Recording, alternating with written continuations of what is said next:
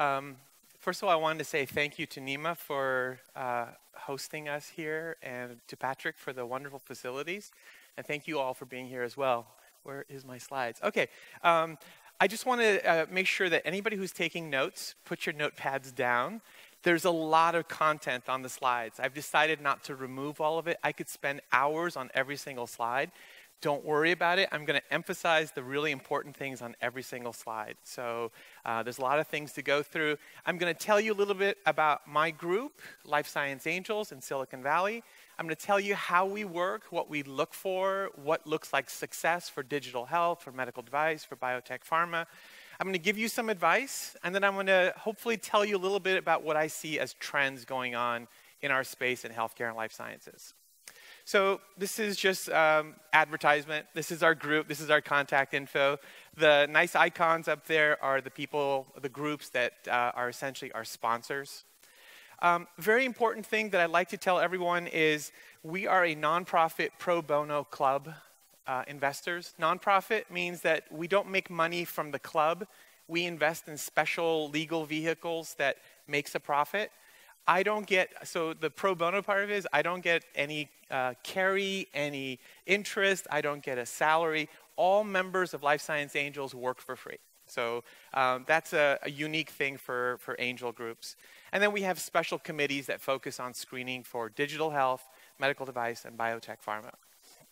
Um, the deal structures are, there's a lot of content on this slide. Deal structure is very straightforward. I just mentioned, we create a special legal vehicle called a limited liability corporation that takes our money and our group of investors and essentially invests in your company.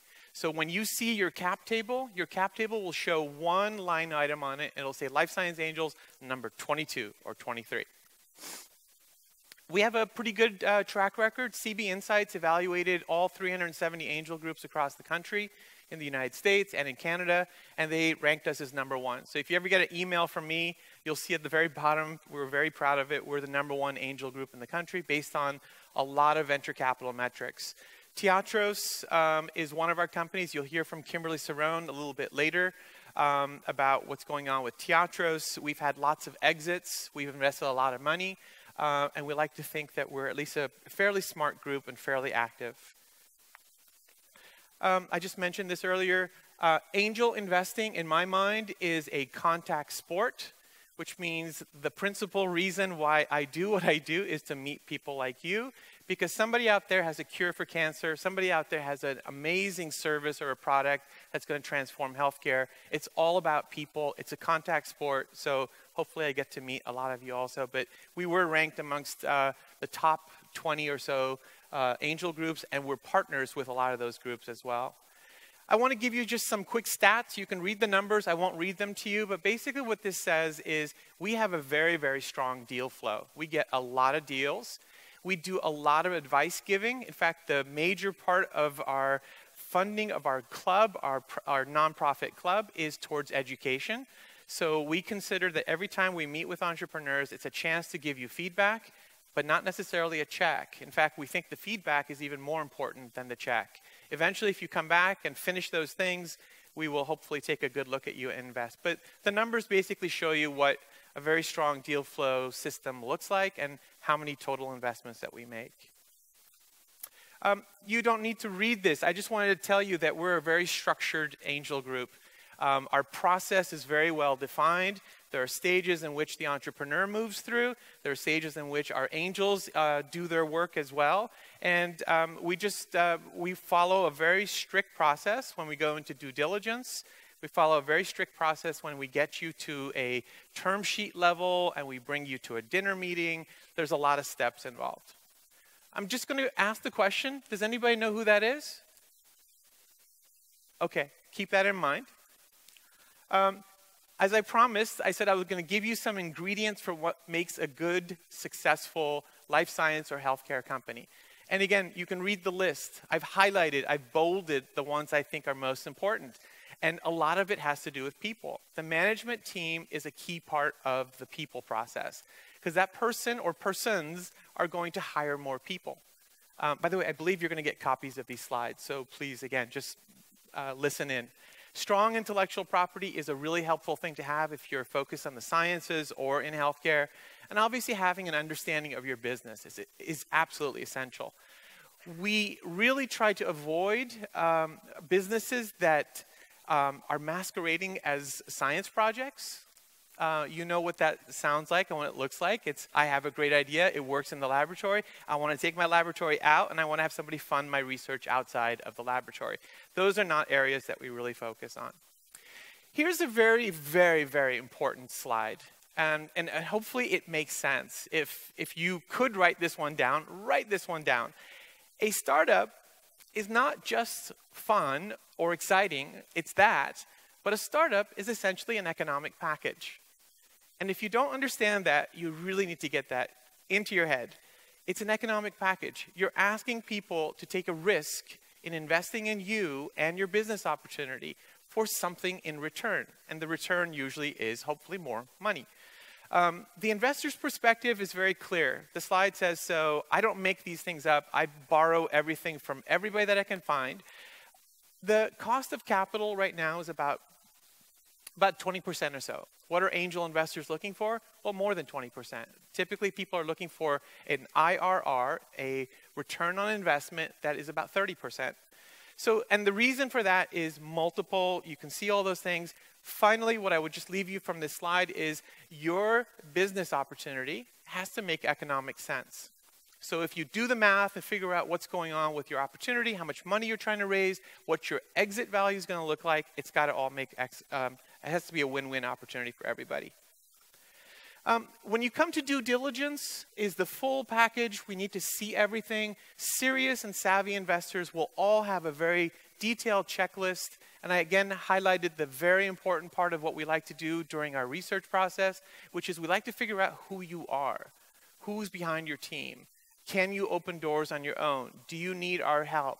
How do we, how do we help you as an individual? But there's a lot of elements that go into that. The onus is always on the entrepreneur. So, in order for you to be successful, it's not up to me to have to ask you the questions. It's really up to you to show how organized you are to bring the materials to our attention. And in fact, the more self aware you are about what you have and what you don't have, the more interesting it is for us. One of my friends, quick story, told me a story about an entrepreneur who walked in and basically said, Here are five reasons why I don't think you should invest in my company. Pretty unique approach, right? And then afterwards, he said, Here are five reasons why I think you should. He eventually got the investment. It's a risky approach, but he basically said, I understand where my risk is, and I want to tell you what the risk is. So think about that. There's a lot of intangibles. It all, it all comes together. Again, savvy investors in digital health look for all these things. Do you have a board of directors? Do you have advisors? Um, do you have good referrals? Do you have beta customers? All those things are important. Again, you know, how many of you love making products? I know there's a lot of people out there who love making products. I interview a lot of entrepreneurs who love their products. But then the real key question is how many of you love business? How many of you wake up every day and say, I want to operate my business? I want to create my business model because I want to make money. That's what this is all about. And then, you know, if you read the, read the Steve Blank books and all the literature that's out there, finally you have to ask yourself, am I smoking something here or does everyone really understand what's going on? You need to get out of the building and go and talk to customers. Talk to 100 customers and do it as a team if you can there's always, uh, always folklore about what goes on in the valley, what goes on in venture capital. But let me just tell you, the bottom line is exits make the best stories, right? So I'll give you a quick story. Moleculo, two uh, entrepreneurs come out of Stanford, out of a research laboratory. They told us we have the best thing since sliced bread. Okay, what is it? We can do DNA sequencing 10 times faster and more efficient. Are you interested? Yes, we're interested. What do you want to be when you grow up? We want to be a $200 million business. Okay, how are you going to get there? We're going to build this, build this, build this. At the end of the day, we realized their product was not really a product, it was a kit. And we agreed with one another it was a kit. So we packaged the company as a kit, went out to customers. They loved the product, and we didn't charge any money for it at all. Eventually, Illumina and others got wind of it, and within 10 months, we sold it to Illumina for a very nice figure. The entrepreneurs retained 60, 70% of the company. The investors, which was only us, we did pretty well as well. Again, I'm going to ask the question Does anybody know who this is? No? No? Okay. All right, fine. We'll keep going on. Um, I'm, I told you I'd give you some quick advice. These are not my words. These are words of my friend Chuck Sted. Chuck Sted was the CEO of Hawaii Pacific Health. He ran it for 15 years. He was a financial guy to begin with, and then he became CEO of a very large health system.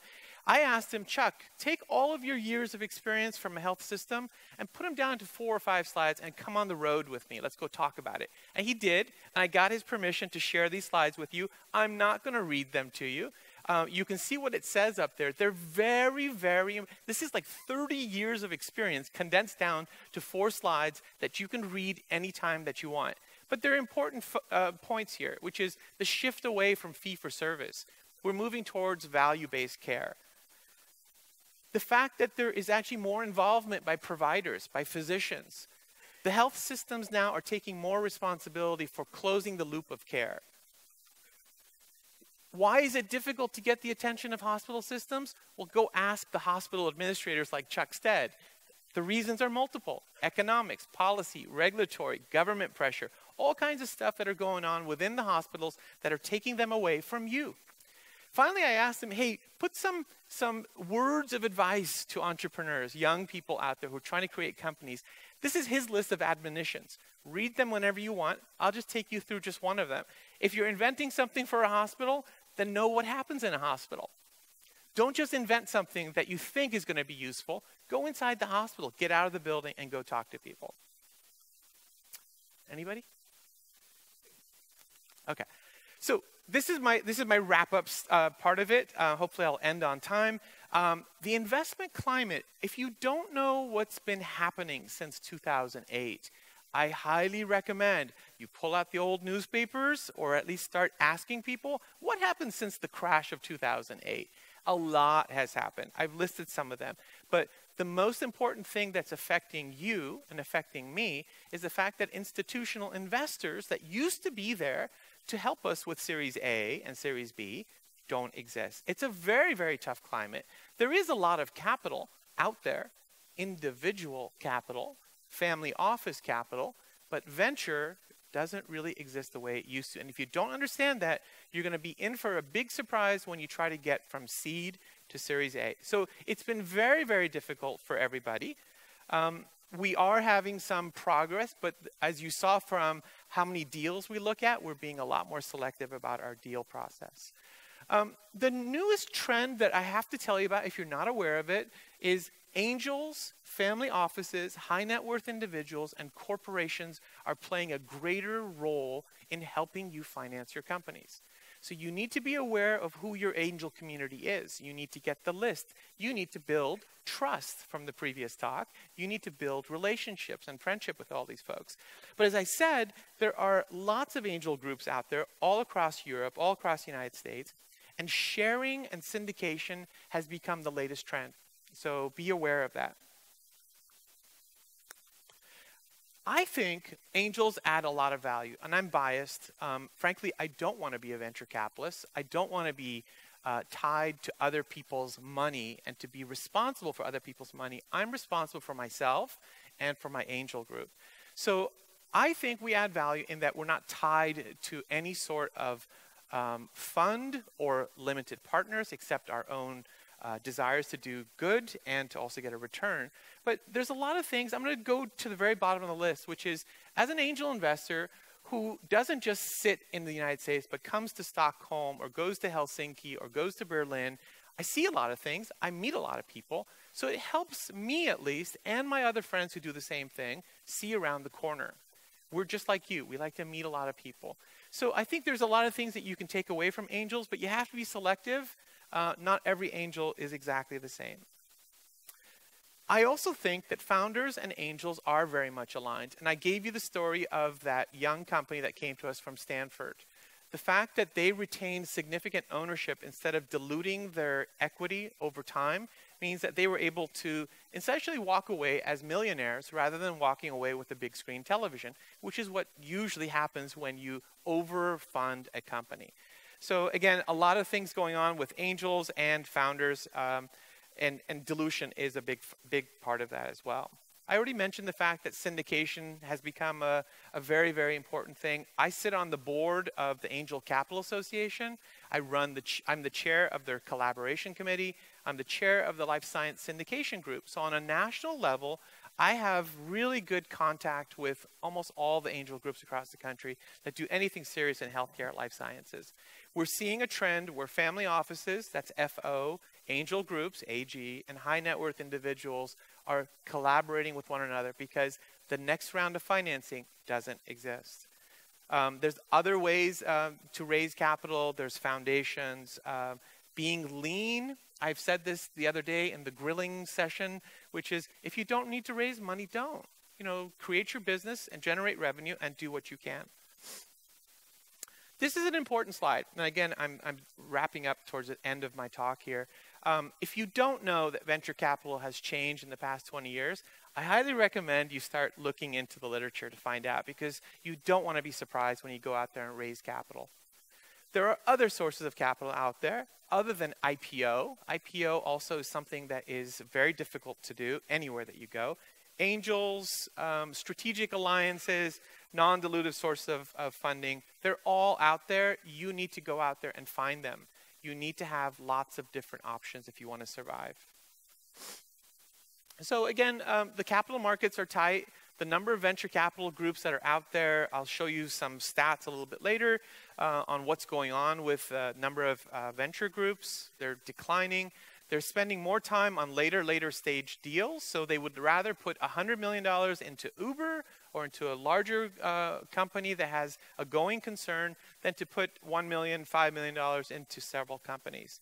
Um, you know, you, you, need to think about what's going on in that market. So if you just want to have conversations with venture capitalists just because you think they're cool, or you think they're stars, or you think they're some sort of celebrity, do it. But the only thing you're doing is just passing on information to them. What you really want to do to get your company off the ground is not waste time. Find the right source of capital, find the right people who can help you open doors, and execute on that. So this is, um, this is the reason why uh, the number of venture capital groups is declining. The stats are very obvious. The returns in the past 20 years for limited partners in venture funds has been just awful. So you could do better on your own. In fact, that's why a lot of limited partners are coming out. You're seeing corporations now taking on their own risk. So the data's out there. Again, um, I'm just borrowing the data from others to share it with you because it affects me. If my portfolio companies cannot continue to raise money and do well, then it affects my bottom line as well. And, um, you know, when things change, there's new things that happen. So I call the new form of institutional investors friendly capitalists because they're becoming what the original venture capitalists were. The original venture capitalists from 40 years ago were actually angels who wanted to help grow companies, grow entrepreneurs, help them achieve liquidity, and then have them do the same thing as well. And it's a nice cycle. So, what's happened now is uh, more hybrid funds are being formed, which is terrific. It's a fund, it's a bunch of angels, and then it's somebody who might be a director of some sort, and then some other family offices might pile in as well. More collaboration. Find out who these friendly capitalists are, and then keep them close to you and build strong relationships and trust. Um, this is again self explanatory as well. So I told you angels, and this is from 2010, but the trend is essentially the same. Angels are in green, and the venture side is in orange. So we do most of the early stage investing. We do the Series A. In fact, when we make a deal with you, we know that our pro rata rights means that we're going to have to help you do your Series A. So the trend is very, very common right now. Almost the same amount of money spent between angels and venture groups. Um, they get a lot more attention because, frankly, they own the media. So, um, so this is what's going on, but you need to keep it in mind. So I asked this question one more time. Nobody's answered it, so let me just answer it. Norman Vincent Peale. Um, if you haven't read this book, you should, because this is truly, it's an old book. It's truly what entrepreneurs are all about. And I'm not talking about having rose colored glasses and looking at the world as all positive. That's not what his book is about.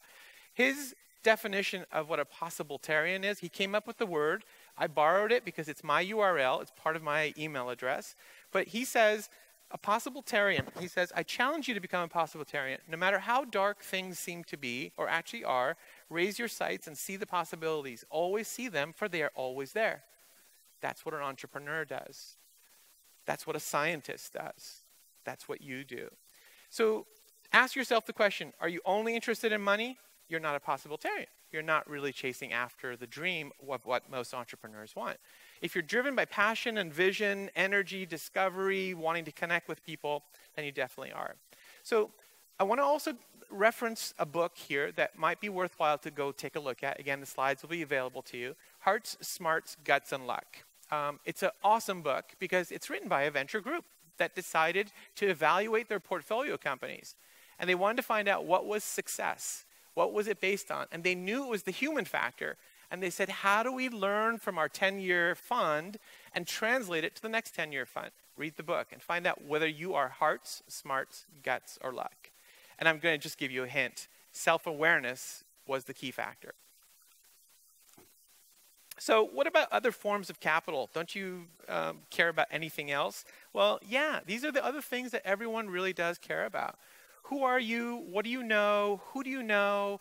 um, you, you just need to demonstrate that you're a complete human being, um, that there is something there besides the fact that you're chasing after money.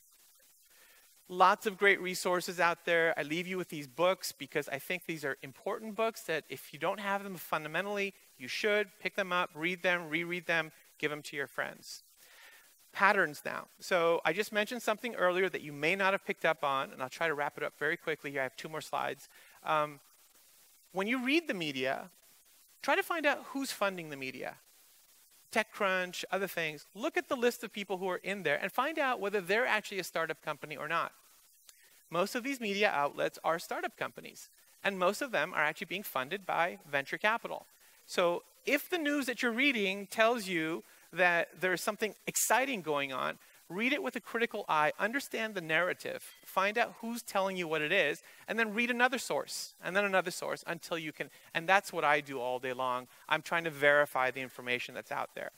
There's lots of positive signals out there. I just told you money is tight, but that's good for you because that means you're going to keep your equity a little bit longer.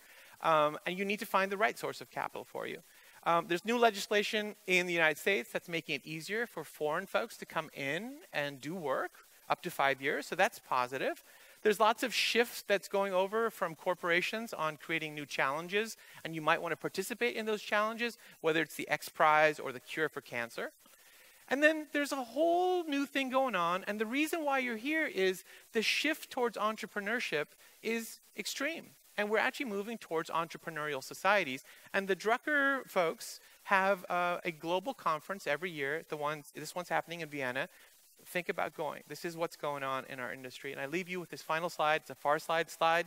If you can't read the bottom part of it, I'll read it to you. It's two spiders on a slide, a children's slide. They put a web at the very bottom.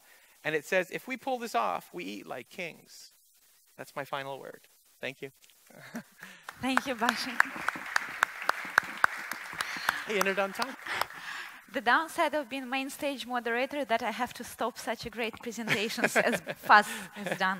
So just round round of applause. Thank you. Uh, thank you for this crash course on the innovation climate and the key ingredients for startups and so much more than this. And we are going to talk, not me personally, but the Cage commentators are going to talk with you even more. Okay. And I'm very much curious, do you have some questions for Faz now, Elizabeth and Bastian?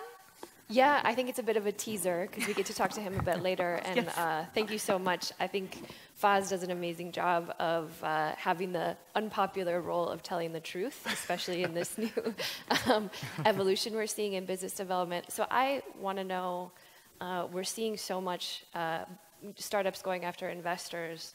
And when did companies, my question is, uh, when did the success of a company stop being about getting customers and making money to getting investors and getting funding?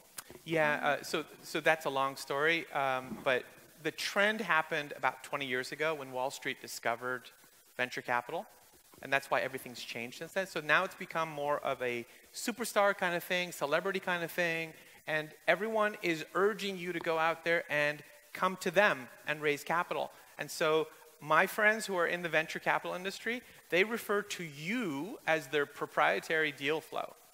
And I'm going, no, that you're not proprietary deal flow. These are individuals who are trying to do something great, and they're not proprietary in any sense. So, um, so, so then the, the, the media that essentially is being funded by venture capital is essentially telling you one line story over and over and over again. But I gave you one example, there's several examples of where entrepreneurs do well by raising very little money, retaining their equity, and essentially walking away being very successful and then paying it forward.